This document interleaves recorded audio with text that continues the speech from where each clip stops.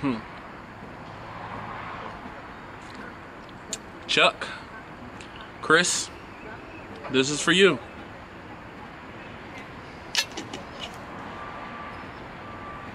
You know what it is. Hey yo, this is Dash. Yeah. Hey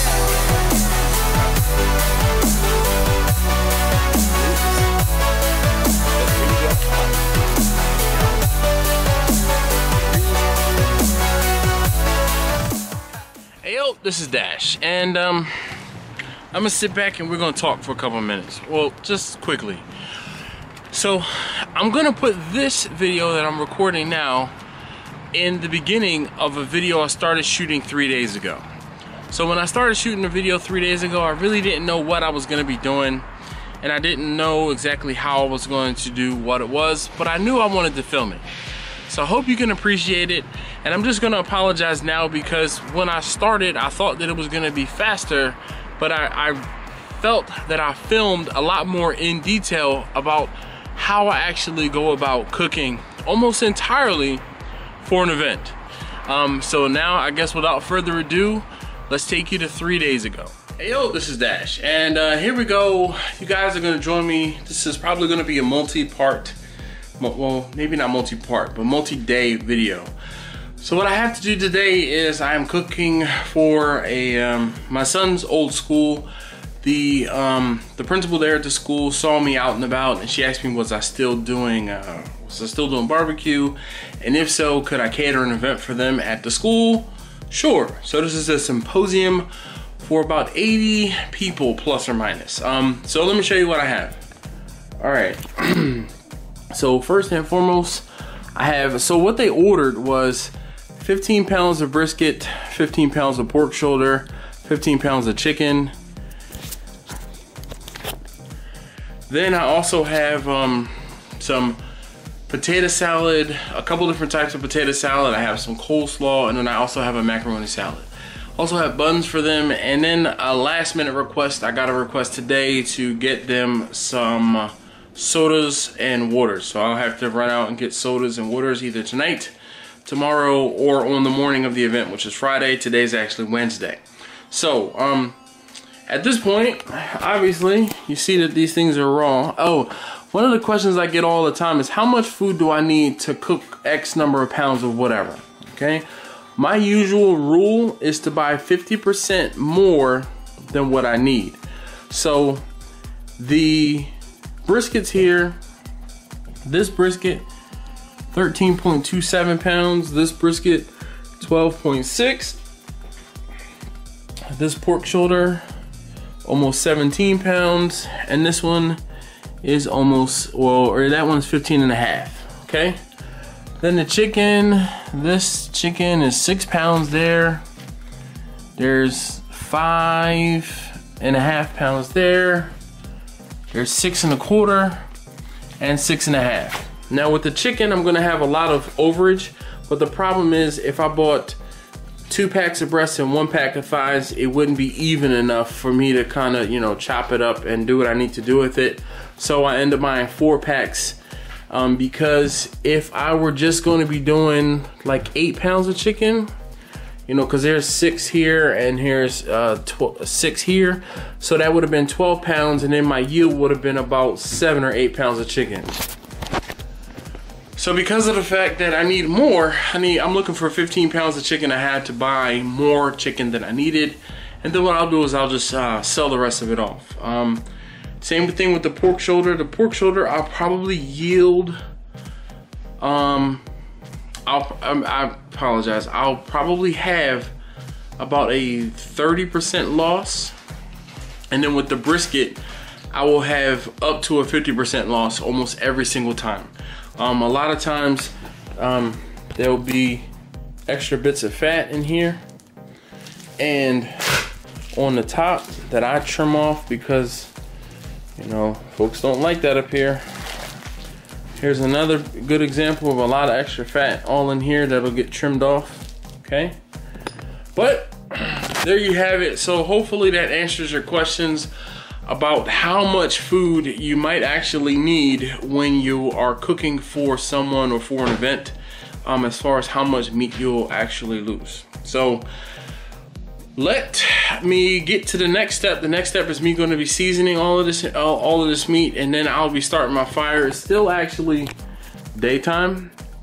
Um, so what I'm gonna do is I'm gonna season my food a few hours ahead of time, and um, I'll get my fire started shortly, and I'll get cooking so I can get this thing, get, get this stuff taken care of, and uh, cook, get it cooked ahead of time for my event. All right, thanks again. See y'all in a bit. All right, so I've been asked before, how do I get the food out to my garages? Just like this. Typically, I stack them all together and I carry them all at one time.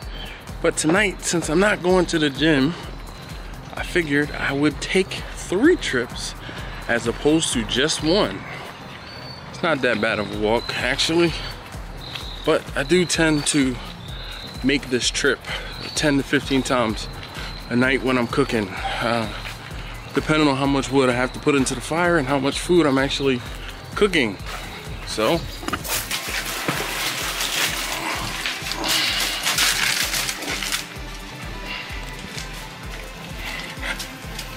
all right.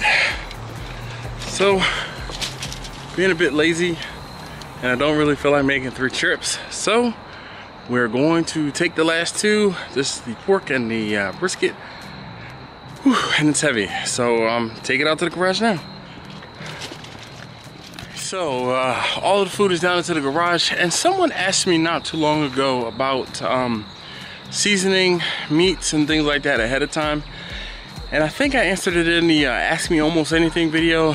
What I end up doing is um, I typically only season things ahead of time when I'm pressed for time. So tonight, because I'm trying to get my cook started a little early, I came home with my kids after school, seasoned the meat. So then later, um, after my wife and I get dinner, what I will do is I will simply start my fire and then I don't have to spend the hour or so um, getting the meat seasoned. What I can do at that point is take it out of the refrigerators. I have a couple refrigerators out in my garages. So I just uh, season everything, wrap everything up and put it out in the garages so that when I am uh, ready to get the food into the smoker, uh, it'll be right there pretty much in the garage next to the smoker and um, I can go ahead and get it started. All right, so there's the question about, or an answer about seasoning food ahead of time. Okay, so it's a couple hours later from when I first spoke to you about this whole event and doing this whole uh, kind of behind the scenes for it. And if you don't know who that is right there, that is Bessie, the uh, Kick A Smoker. YouTube has seriously come down crashing hard on my uh, videos and uh, ad revenue, so we're gonna keep this really PG. So this is Bessie again, the Kick A Smoker. All right, and uh, if you haven't or don't know, Bessie is a all wood smoker. Well, so there's the firebox there and I'll back up a bit. This is the cook chamber and this is a warming box. Uh, the way Bessie works is the fire is here, the fire travels underneath, goes exits here, comes into the cook chamber and then exits there and goes out the chimney um, outside. So, what I'm gonna do is go ahead and get Bessie full of wood, get my fire started, and uh, I gotta hurry up and get that started because it's getting late. All right? Thanks. Well, I'll put you in the tripod. You can watch me work.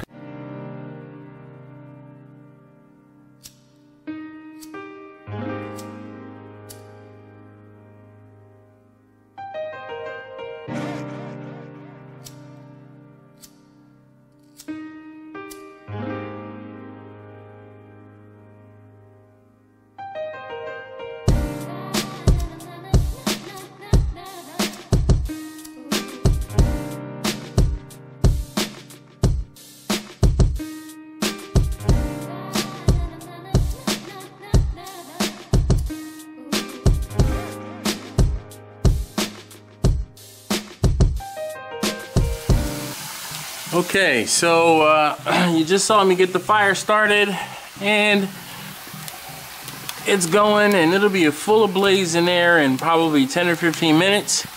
And uh, you can see the smoke coming off of Bessie. So what you hear is uh, water going into the bottom of the, the water pan here.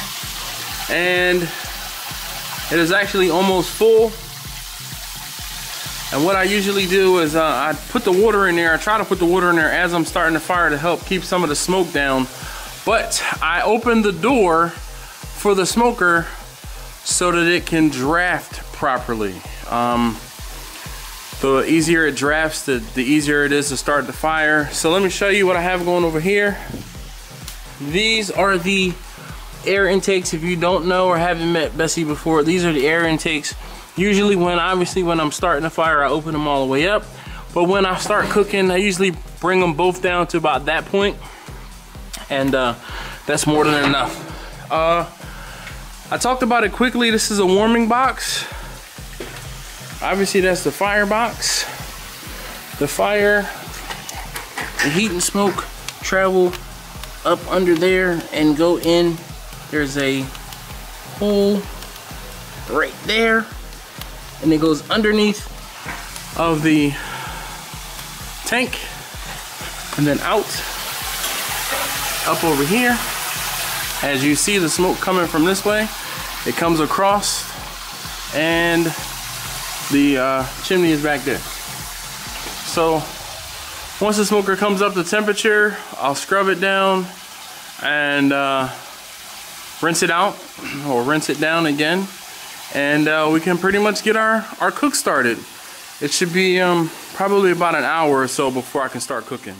Okay so I've got my fire going and you, as you can see the uh, smoke is coming off of the uh, smoker pretty well. And that I've, this thick white smoke is not the smoke you want to see. Um, when this dissipates and the smoker comes up to temperature. And once it gets over 250 degrees or so this thick white smoke will turn into steam. Uh, obviously because that water that's down in the bottom of the uh, water pan there will be boiling off. And uh, when you see that when you don't see any smoke and you see just a clean steam and a thin wisps of uh, white smoke or, or excuse me blue smoke uh, that's when she's ready. And uh, all I do at this point is just wait. I'm actually gonna go back in the house, have my dinner, and uh, be patient. So, you see this thermometer on the right is at 125 degrees. This one on the left is just slightly over 125 degrees. As this uh, as the heat and smoke come from here and again they go under and come out here, this side is gonna heat up faster. But because the firebox is over here and it hits this side of the, uh, the cooking chamber and there's slightly less water over on this side because the, uh, the water plate is angled actually down this way. so this is where it dries out first. The chamber eat, uh, heats up pretty evenly. Um, the only difference is obviously between the bottom shelf and the top shelf, the uh, temperature difference that way. And while I'm thinking about it,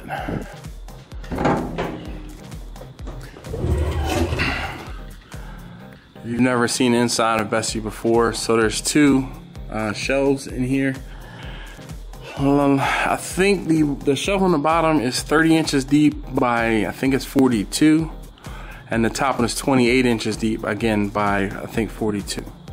So um, there's plenty of room inside that smoker there. Um, I've had at most 16 turkeys inside of the smoker uh, at one time. And I usually can fit uh, four, I've, I've fit six to eight briskets up at the top, getting creative on how I put them in there. Um, and the most food I've had in here at one time, I had 120 pounds of pork shoulder on the bottom shelf and I had 40 pounds of uh, chicken uh, at a time on a top shelf. And uh, that was pretty much full to capacity. Again, it was 120 pounds of uh, pork shoulder down on the bottom. And I had uh, 40 pounds of chicken up at the top, just to give you some uh, cooking um, capacity. All right, I'm gonna close this up, let it come up to temperature. And I'll be back in a bit. Okay, so I know it was rather difficult to see, but this right here, coming from the, uh, this is black stovepipe I have connected to uh, Bessie. That's steam. That's all steam. Um, come over here, and it's hot. She is. She is moving. So I'm gonna go ahead and get back inside and uh, throttle it down. Okay, so I could tell that the smoker was well over where I needed her to be. So you see, she's almost at 400 on that side and uh, just past almost at 375 on this side. So what we do now, what I'm gonna do,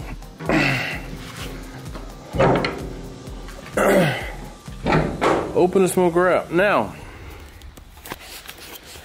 anyone who does any smoking for any long period of time will tell you that just before you open the door on the smoker, you take a breath and hold it.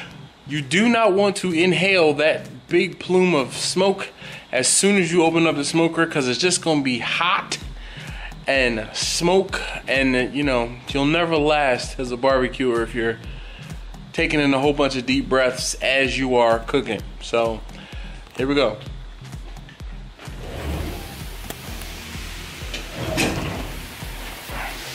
now you see the uh you can hear the water down there is boiling. Okay. And uh, I'm gonna go ahead and get this scraped out and cleaned up real quick. And um, the best thing to do um, to clean your smoker is to get it good and hot the way that it is and steam clean it. So let me see if I can show you guys how I do that. So before I show you the uh, steam cleaning process, I wanted to show you inside the firebox. So you guys saw me load this up and actually right after I um, finished with the last video out of the smoker, I added a few more logs just to stuff it plain full because I know that what I do is I let it get good and hot. Now, because I opened up the firebox door, the um, heat in the smoker is going up slightly and I'm gonna hurry up and get the smoker cleaned out. So I'm gonna close the door.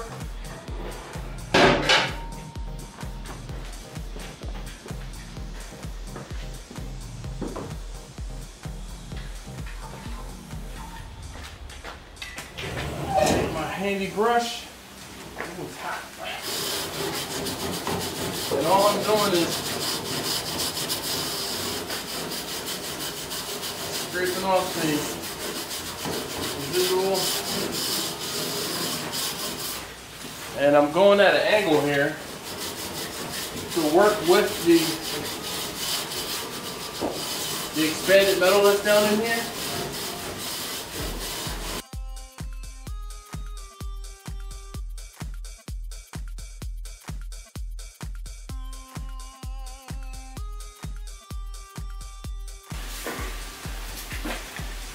All right, so once I broke everything up,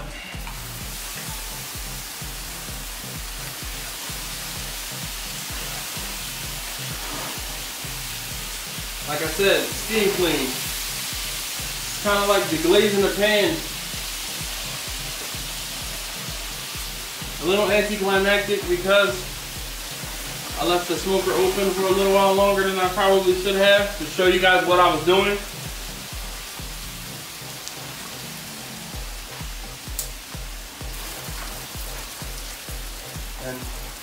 Kids must be in the shower or something because my water pressure is low.